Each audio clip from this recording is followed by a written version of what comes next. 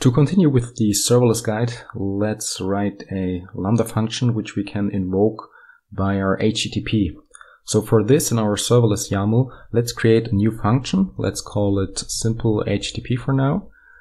Uh, the handler we will uh, write soon, so let's give it a first name. Let's call it simple HTTP handler.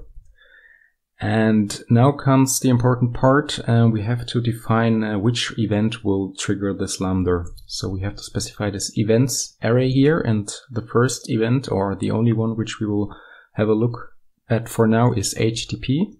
So we can specify that this um, AWS Lambda will be invoked over HTTP.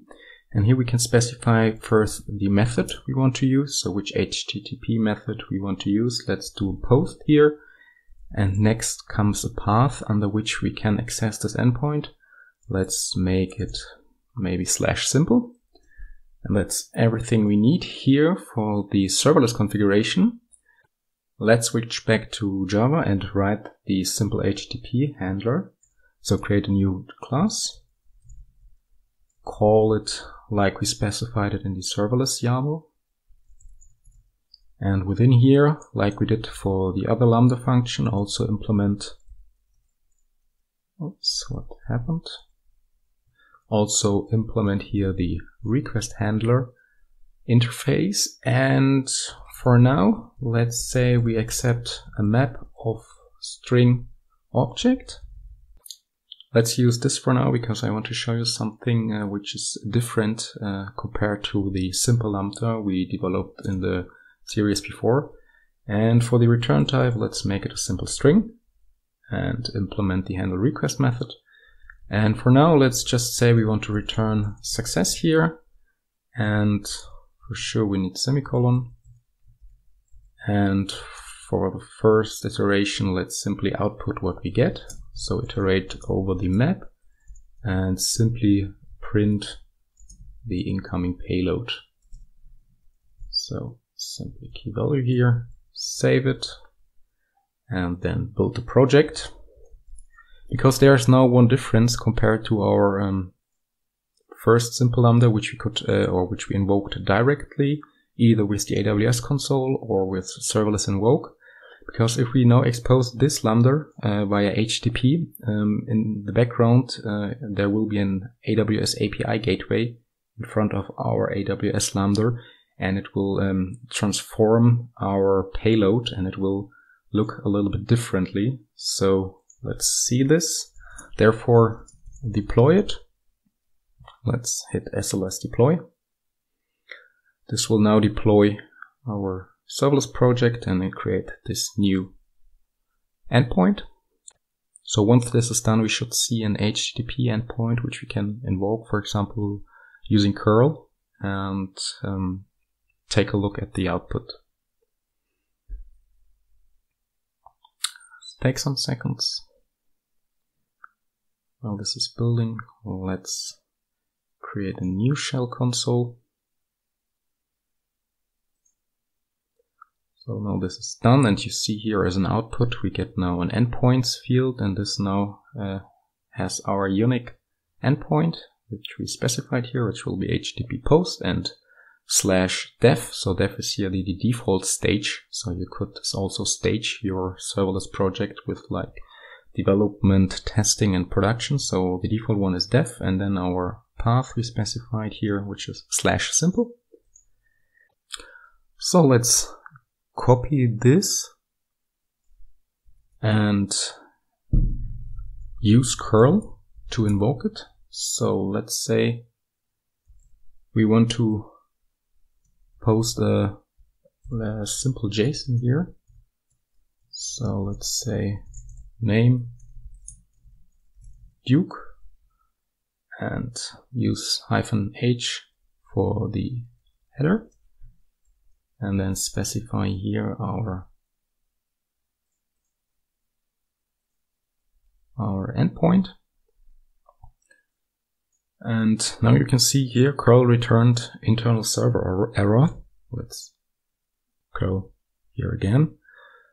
To actually see what's going on, uh, let's take a look at the logs. So for uh, the logs we can use uh, serverless uh, don't have to log into the AWS console. You can use SLS logs-f, name of the lambda, lambda, it's simple HTTP, minus T for trailing. So we get uh, all output. So we get the output continuously and hit the endpoint again and switch back. It might take some seconds. So we should now see here that we print out the input of the map we are receiving. What you will see here now on the log, so it's a lot. So um, in the background, um, the request is coming through the API gateway and this will transform the payload. It will use the headers we passed to our HTTP request and a lot of more metadata and will pass this as a big JSON to our AWS Lambda so within here, for example, we can't simply say we want our Pojo, for example. So let's say we wanted to uh, create an endpoint to save some persons. So the Pojo for this could look like this. It has a name and an ID. And if we would put in here person, it would fail because the actual payload is way bigger than just the body we pass because in the background, the API gateway, like you see here, adds a lot of metadata to our request. And the actual payload is here within the body key of the map. So to have access to the actual body, you wouldn't like uh, have to extract what's inside the body attribute and use, for example, uh, Jackson or Gson to then serialize this incoming JSON payload back to a Java Pojo. Another important thing to note if API gateway is in front of your AWS Lambda like if you've seen it here in the curl statement, uh, even though our function simply shouldn't throw any exception or should basically return with a success case like we return here a basic string, we get a 502 from our backend. So something was wrong here and it says internal server error, even though we don't see any exception here or any hint that something went wrong. And the reason for this is that the API gateway uh, expects the response to be in a specific format. And for this, let's add a simple example how it expects the response to be. So the response needs two attributes. Let's create a simple hash map here. Uh, the response expects a field of status code. So within the status code, we can now say which HTTP code we want to return. So let's say 200 here. And next comes the body. So within the body, we have to specify what our Lambda function here actually returns to the user. Let's make it a, a inline JSON for now. So also here you could use a um, JSON library to serialize some data, but let's make it for now simple. Let's return this JSON here. What you can also do if you want to pass any headers, so let's say we want uh, headers to be there, you could pass them also to this map and like specify custom response headers. Let's remove this for now and also let's change the request handler output type so it won't be string anymore but again a map and also change the response type here and then simply return it. So now, once we save this, let's build the project again and then deploy it using serverless. So there was a small typo in here, so it has to be status code with a capital, so camel case status code. And let's make it two oh let's make it funny HTTP response code to see that it actually works. Let's return 418 here. I'm a teapot and build the project again. Deploy it. And then invoke it again using curl. And we can now see here, so the response is actually not this map here, but only what we specified inside the body here. So it will now return our small uh, JSON object here. And as you can see here, The HTTP status code is what we specified here. It's now 418. So for a normal use case, you would specify here 200 in the case of a success. But I wanted to show you that this actually maps to the output we get from the API gateway. So to not use this um, generic map here, you can also use a library from AWS, uh, which um, contains the basic events we have on the AWS platform. So therefore simply include the AWS Lambda Java events library to uh, the Maven project. And this library now contains the basic um, events of AWS.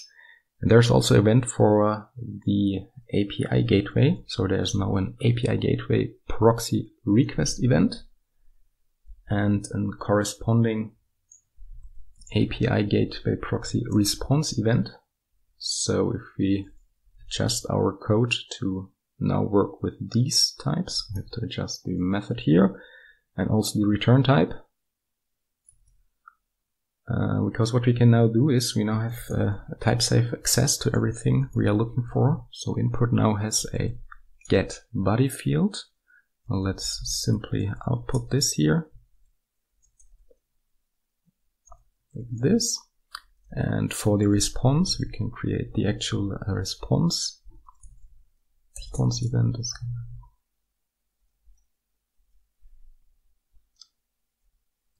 Let's create an object of this and let's say response event dot set body.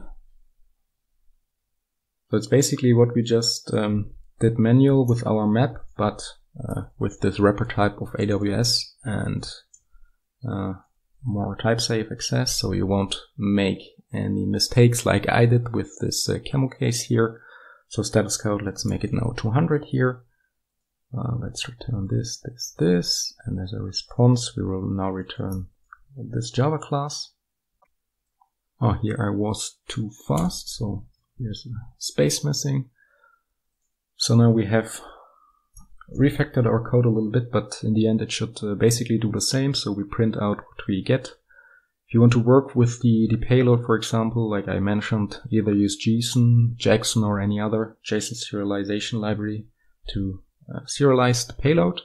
And for the response, if you actually want to return something, you have to, or you can use now this proxy response event and model what you want to return.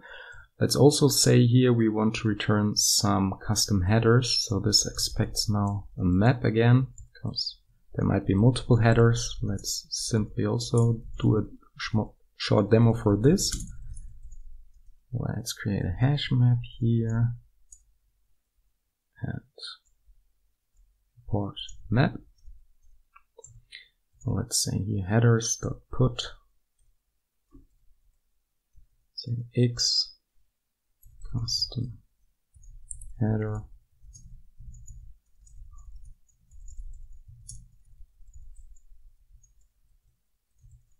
and simply put now the headers in here.